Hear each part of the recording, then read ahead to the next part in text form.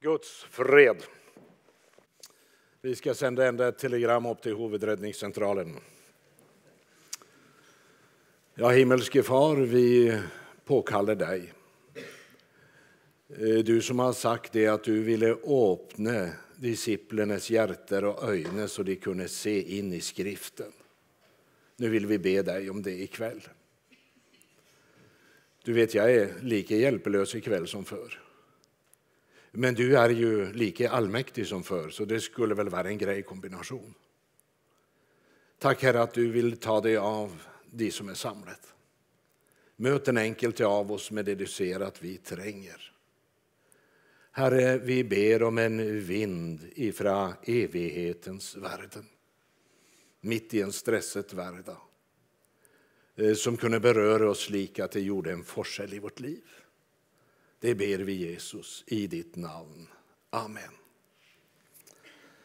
Vi ska begynna att läsa i Matteus kapitel 22 från 34 till 40 i Jesu namn. Men då fariseerna hörde att Jesus hade stoppat munnen på saddukeerna samlade de sig om honom. Och en av dem, en lovlärd, fristet han och sa Mäster, vilket bud är det största i loven? Han sa till honom Du ska älska Herren din Gud av hela ditt hjärta och av hela din själ och av all din förstand. Detta är det största och första bud. Men ett annat är lika stort. Du ska älska din näste som dig själv. På disse två bud vilar hela loven och profeterna. Amen. Du ska älska Herren din Gud av hela ditt hjärta, icke halvhjärta, av hela ditt hjärta och av hela din själ och av all din forstand. Alltså, det är icke bara själen som berörs av troens liv. Men också hjärta och förstand är en del av mänsklighet. Och hela mänsklighet ska beröras av Guds ord och av Guds ande. Du kan ta dig tid de närmaste uker och bla fram till apostlarnas gärningar och så finn fram till de preken när du finner där. Du kan ta Peters preken på pinsedag i kapitel 2 och Peters undervisning i kapitel 3. Stefanus tale där i kapitel 7 och Paulus tale till de i Thessalonika i kapitel 17. Plocka ut de här talerna som finns, prekener som finns i apostlarnas gärningar. Men samtidigt när du läser de här så må du huska att det här är prekener rättet till icke troende. Så det är huvudsakligen evangeliserande prekener. Och därför ska du samman med att du läser prekener i apostlarnas gärningar, för det är upplyftande alltså, det må jag säga. Så ska du också läsa breven i det nya testamentet. Brevet till de i Korint, Efesus, Filippi, Ikke sant? För det är apostlenes undervisning till troende. Och när du får den här evangeliserande preken och undervisningen till det troende och det får smälta samman, då blir det balans alltså. Och det är väldigt viktigt. Och det här samlade vittnesbyrdet det ger en balans som visar oss vad vi bör preka idag och hvordan vi bör präka. Alltså, jag mår lite dåligt av och till. Det, det, kan ju av och till höras ut som du ska ha en mastergrad i kommunikation för att säga ett ord om Jesus. Det är ju något som är viktigare och det är åndelig utrustning. Vi ska icke förakta kunskap. Men alltså, vi får icke folk till himlen för att vi är smarta. I Salmenes bok så står det i psalm 86 och vers 11. Lär mig, Herre, din väg. Jag vill vandra i din sannhet. Ge mig ett udelt hjärte till att frykta ditt namn. Alltså, det är ett ord där Herren helt enkelt ber oss om att fokusera våra tankar. Vi kan se vara målrättet, ha målet i sikte. Eh, så vi inte snäver in oss och blir hela vår tankegång i det rum vi befinner oss. Ha alltid målet i sikte. Jag är på väg ett sted. Ja, det är det. Jag har ett mål. Och det talar om ett udelt sinn. Och det går som en röd tråd genom hela det gamla och det nya testamentet. Ett udelt hjärte, ett udelt sinn, ett helt hjärte.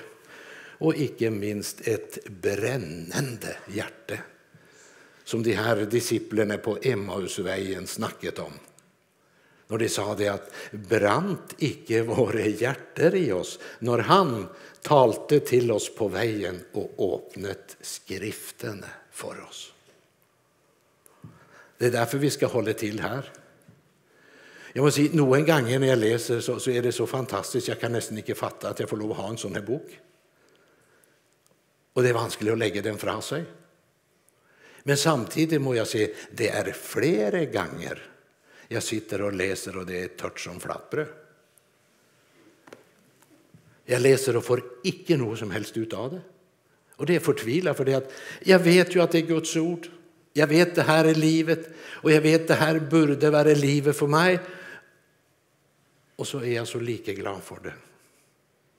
Men jag har lärt mig det att jag ska läsa också när det är torrt som flatbröd. För ser du, hvis jag slutar med det, hvis jag inte läser regelmässigt så kommer jag till att sluta och läsa efter vart. Alltså du ska inte kutta ut många dagar för du inte har något behov. För livet det finns icke här inne, det finns här. Och så länge jag får tillförsel varje dag så lever det här också. Pris Gud. Ja. Och jag plejer att säga på nästan vart möte jag är. Hurdan har du det med Guds ord idag personligt? Har du spist dig sulten eller har du sultet dig mätt? Du ser, när det talas om en levande tro och hela vårt hjärta och all vår förstand då förtäller det att levande tro och brinnande hjärta det står icke som en motsättning till förnuft och backekontakt. Men det står här för att förtälla oss oavsett hur mycket vi kan och vet så är det aldrig nog med bara kunskap. Det är inte det. Du ser att när hjärtat och förstånd splittes, då blir tro en teori. Och det vet själefienden. Det var därför han med sitt spörsmål till Eva skulle flytta sannheten från hjärta och upp till hodet. Från närvaro och kännskap och till kunskap och teori. Och djävulen han kan inte bruka sannheten. Han kan bara missbruka den. Och djävulen han gör allt han kan för att få dig väck ifrån livsströmmen. Hjärtat har två kamrar. Vi har två nyror och de virkar samman till ett helt liv. Och den här dubbelheten det är skaparens signatur till ett liv i helhet. Det är det. Och den här todelte enheten den finns också i det andliga livet. Inte sant? Troens dubbelte behov. Frälse och helighet. Det är två ting som hör samman. Det. Men du vet, djävulen han önskat att visa Eva en väg till frälse och glädje utanför sannhetens och utanför rättfärdighetens gränser. Och Eva valde att gå den vägen. Och så blev behovet för salighet, eller du kan säga behovet för frälse, det blev adskilt från behovet för helighet. Och då är mänskligt splittet. Och nu var Eva-saligheten kommit in i världen. En salighet utan helighet och krav. Ett evangelium där man kan trösta sig utan omvändelse. En salighet på människors villkor i samsvar med förnuften. Och där var troen flyttet från hjärtat och upp i hodet. Och så blev hodet fyllt med kunskap, teologi och teori. Tänk du när kännskap blir till kunskap.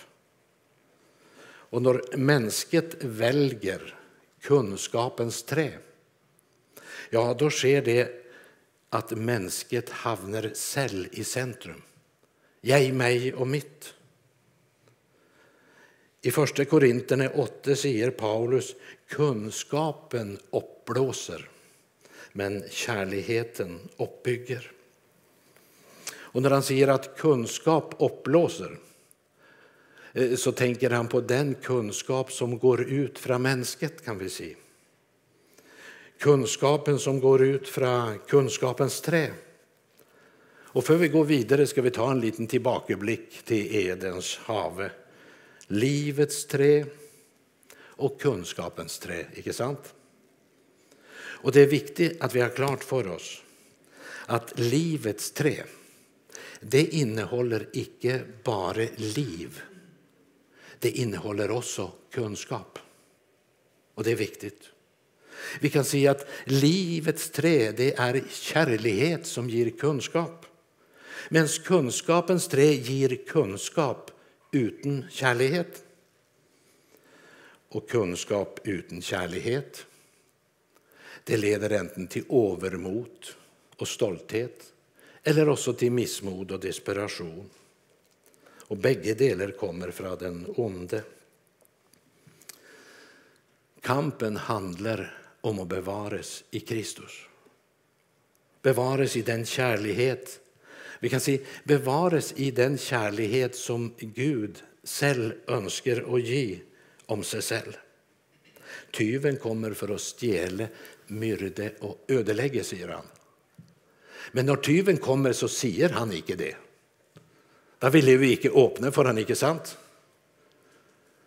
Tänk dig att noen ringer på min dörr och så går jeg ned og åpner, og så står en där ute och säger 'Hallo, jeg er kommit in i ditt hus för att myrde, stjele och ödelägga. Å, välkommen, ska jag sätta på kaffen? Men det är ju nästan sånn vi gör noen gånger overfor sjelefienden.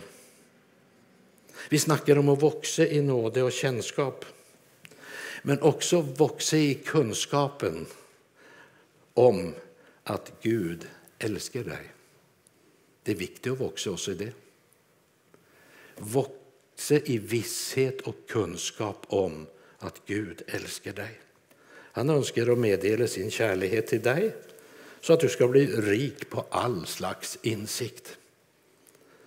Och den här uppenbaringen av Guds kärlek den kommer att göra ditt hjärta varmt.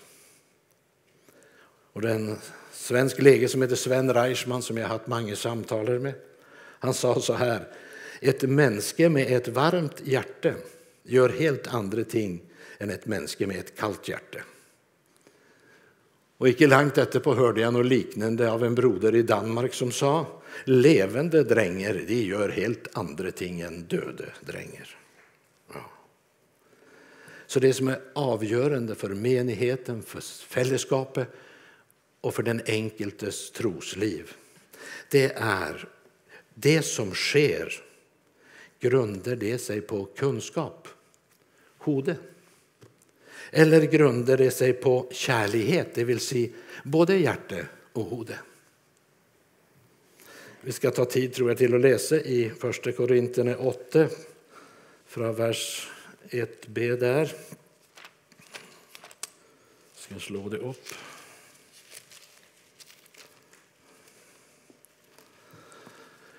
Kunskapen uppblåser, men kärligheten uppbygger. Hvis någon menar att han har kunskap om noe, så har han ännu icke känt det slik han burde. Men den som älskar Gud, han är känt av ham. Vad är den rätte kunskap? Ja, det är kärlek. Och så får du med det här, kärlighet är också kunskap. Och vad har Paulus att säga om kärligheten som kunskap? Jag ska slå upp i Filipperbrevets första kapitel.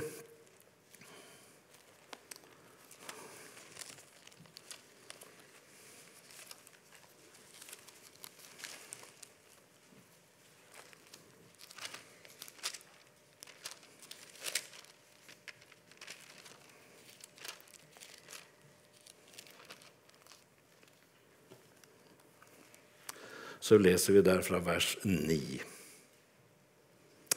Och detta ber jag om, att deras kärlighet må bli mer och mer rik på kunskap och insikt, slik att dere kan döma om vad som är rätt i de forskjellige spörsmål, för att dere kan stå rene och utan lyte till Kristi dag fyllt av rättfärdsfrukt vid Jesus Kristus, Gud till ära och pris. Fyllt av rättfärdsfrukt.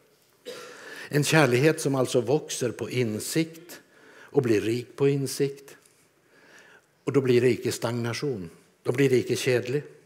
Och han snackar om en kärlighet som kan döma om vad som är rätt i forskjellige spörsmål. Och som jag sa, kärligheten är nog mycket mer än kunskap, men den är också kunskap. Och det här är ju höjaktuella ting i en tid då man har begränsat kärligheten till bara en födelse. Jag menar, det trängs ju inte mer än att man blir lite deprimerad så blir många födelser borta. Men man kan ju älska lika väl, icke sant? Det har med valg och med vilja att göra. För kärleken är mycket mer än en födelse. Det är också en vilja och en beslutning. Och Gud han önskar att förmedla sin kärlek till dig så att du ska bli mer rik på kunskap och insikt.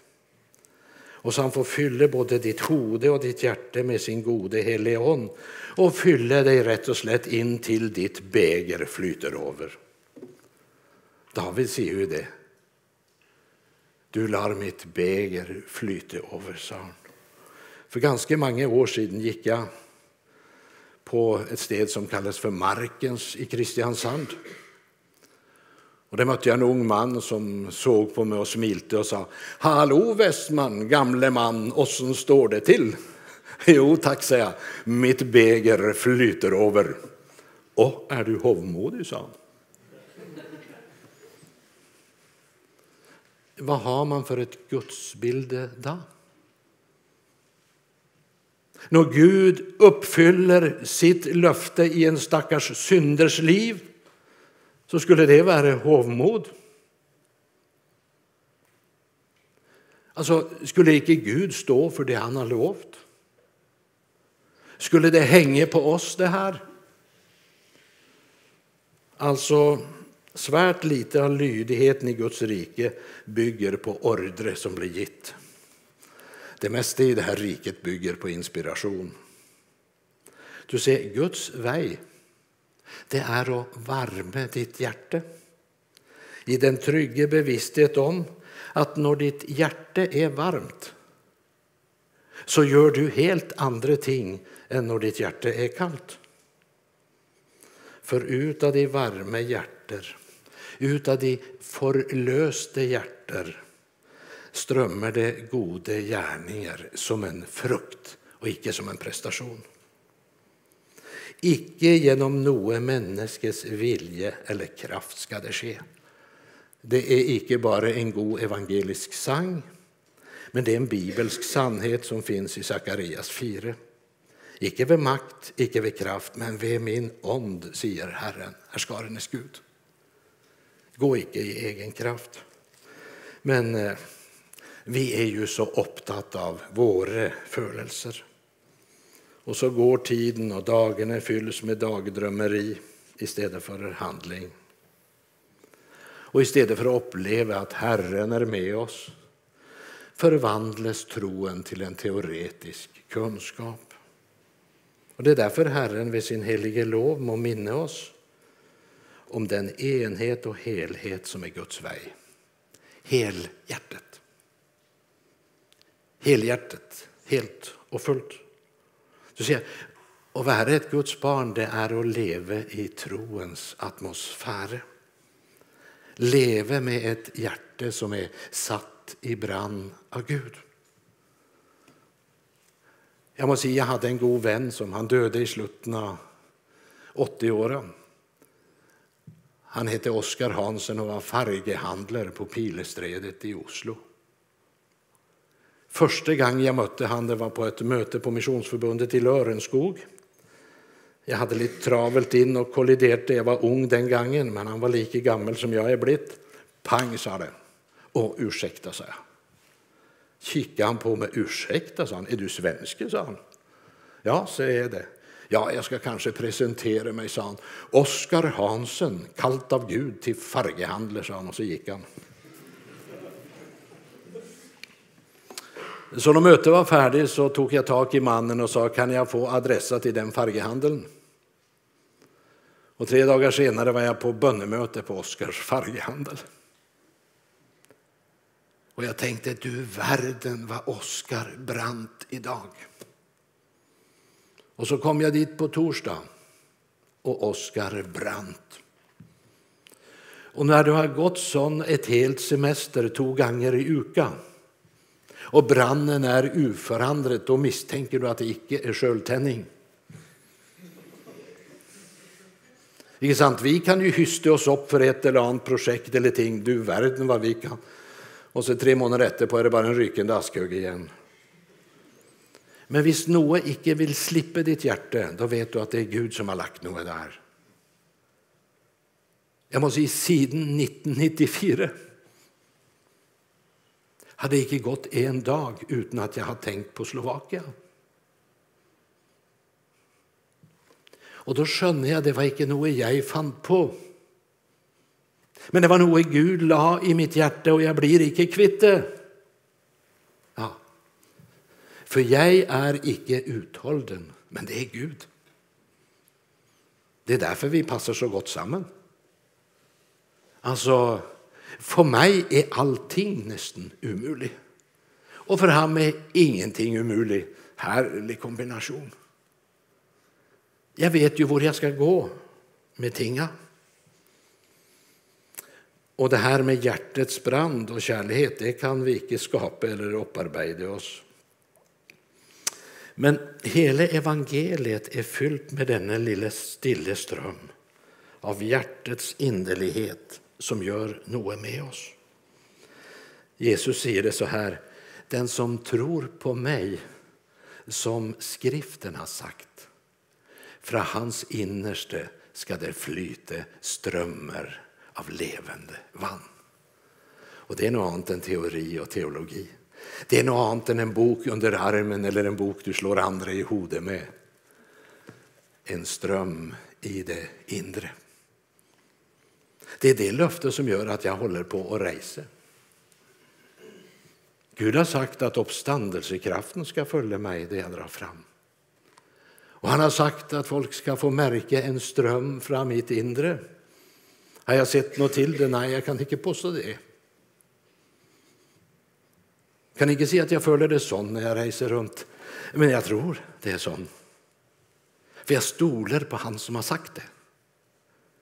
Och så håller jag på. Och så när det ser alldeles hopplöst ut. Den som tror på mig.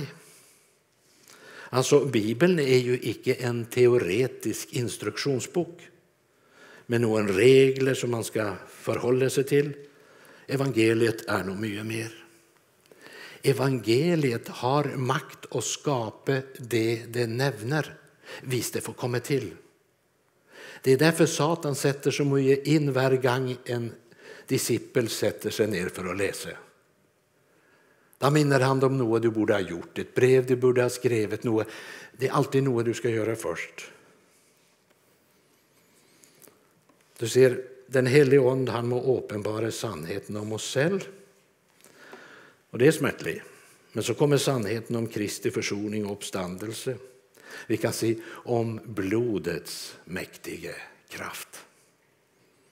Kom, låt oss gå i rätte med varandra, säger Herren, Om deras synder är som purpur ska de bli vita som sne, om de är röda som schalagen, ska de bli som den vite ull. Det är från Jesaja första kapitel. Det, det är lite ett löfte. La icke det här tillbudet jag nu läste, la icke det tillbudet gå ifrån dig ikväll. Du ser, jag tror att Gud i dessa dagar ska resa upp enkeltpersoner, också i vårt land, enkeltmänniskor som både lär sig beröra och förvandla av Gud. En av våra trosfäder har sagt följande om Bibeln. Den som brukar detta nådemedel rätt, för han skall intet som kräves till liv och Guds frukt vara umulig. Ta tid till stillhet. Jag vet hur vanskligt det är. Tid till studiet av ordet. Finn någon rutiner. Vi har olika arbetstider eller skoletider. Den enkelte må finna den rytm som passar han. Men du ser, han vill beröra ditt liv. Förvandla och så utrusta. Och utrusta är icke en skola eller en träning. Det är en gudomlig ingripen. Det är att Gud gör något som det icke finns förutsättningar av naturen. Och det kommer icke att ske utan motstånd. Icke utan kamp och strid. Icke utan kors och tårar och framför allt icke utan bön. Du ser, Gud han vill att du ska vara en del av det han tänker göra i vår tid. Och som jag sa, jag tror Gud ska resa upp enkeltmänniskor i dessa dagar. Och mitt spörsmål är, ska du vara en av dem? Låt oss göra sangerens bekännelse till vår bekännelse. Jag har säkert sagt det här förr och jag säger det igen med frimodighet. Du vet, vi som är skickligt gamla, vi är ju så glada i engelska sanger. Det är en sång som heter Jag har beslutat att följa Jesus, men jag syns den är ända bättre på engelska. I have decided to follow Jesus. No turning back, no turning back. Alltså, ta den bestämmelsen i ditt hjärta ikväll och säg I have decided to follow Jesus. Du må gå enten ena vägen eller andra vägen. Den andra vägen där finns det tusen av alternativer och dörrar men de ändar på samma sted. Det är bara en väg som för till livet. Jag har beslutat att följa Jesus. Du ser, ved att uppenbara sig genom Sonen så har Gud gjort sig synlig för oss. När du läser här i Nytestamentet, evangelierna, om Jesus, vad han gör och säger och handlar, så förtäller det dig vem Gud är. Jesus säger slik i Johannes 12.45. Och den som ser mig ser han som har sänt mig. Det är viktigt, det är inte sant? För utan att Gud gjorde sig synlig hade vi inte kunnat älska honom. Det handlar om att älska Gud och älska den Gud som har åpenbart sig i Kristus, Guds son Messias. Gud är en levande Gud. Gud är en virkelig Gud och han är alletings skaper och Herre. Abrahams, Isaks och Israels Gud. Och du ska älska Herren din Gud av hela ditt hjärta, av hela din själ och av all din förstand. Ta Guds fulla rustning, vänner. Ta den på och gå ut på vakt. Fienden sin bue spänner och vill bruka all sin makt. Upp en vär, svärdet bär. Satan trosser Herrens här. Den som vill få bli en slave här och inte i evig tid följer synden i det lave och får liten lyst till strid. Världens prakt, Satans makt virker sövn och gör försakt. Vi ved Jesu blod vill vinne. Visser sejren, gleden stor. For vår panne vill vi binde vittnesbyrdets faste ord. La det gå som det må, evig skall Guds ord bestå. Husker du ikke noe annet fra den første tale, så husk i hvert fall det her. Guds ord skal bestå når allting annet faller. I 80 åren hade vi en mötekampanj i Lappfjärd i Finland. En välsignad uke. Lördag kväll var det som himlen var öppen. Och jag gledet mig till att preke på söndag morgon. Men det var på lördag kväll jag gledet mig. Icke när jag vaknade på söndag morgon. Då var hjärtat dött och kallt. Och det føltes att om Gud fanns var han tusen mil bort och jag hade absolut ingenting att säga. Och jag sa till menighetsleden där, jag, jag vet inte om jag ska säga något i dag. bör kanske resa hem. Då ringde en gammal sognepräst i Finland. Du vet, Gud han, han är otrolig. Jag är väldigt lavkyrklig, för att säga det milt. Men jeg har fått flere ganger hjelp av meget høykirkelige prester. For Gud vil vise at han har sine folk i alle leirer og sammenheng. Og Mikael Sandell han var ikke en mann som brukte for mange eller store ord. Så jeg ble nesten overrasket på søndag morgen når det var telefon til meg halv ni på morgenen. Det är telefon till dig, Westman, sa han. Och så när jag tog telefonen hej, det var Mikael Sandell, sa han. Jag ringer bara för att Gud har påmint mig att jag ska säga Guds ord står fast när allting annat faller. Ha en god söndag. Klick. Och det var som solarnas sol öppnat sig. Och jag fick präke den söndag förmiddag över temat att Guds ord står fast när allting annat faller. Och så kan han bruka oss. Jag fick en uppmuntring i går. Du blir minne om noe, gör det.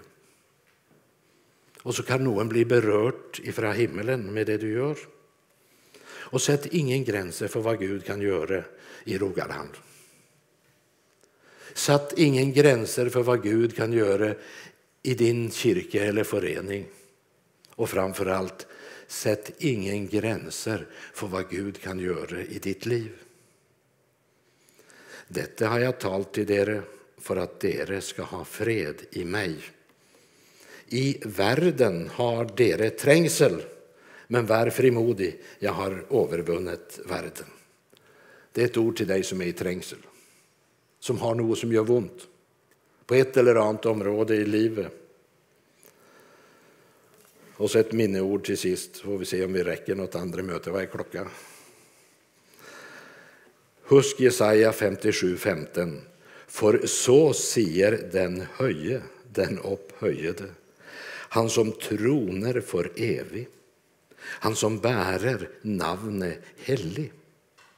I det höje och helige bor jag, hos den som är knust och nedböjet i onden för att göra levende de nedböjdes ond och göra knuste hjärtan hjärter levande. Har du bruk för han i? Han som kan göra knuste hjärter levande La oss välja att leva i den verklighet Gud här snackar om. Herre, vi tackar dig för att du är en levande och bönhörande Gud. Må du la ditt ord dvele igen i våra hjärtan. Må du vid din helige Ande hålla etterpreken så det vi har delt, kan bära frukt. Och tack, Herre, för att du gärna önskar att göra något nytt i många människors liv i Amen.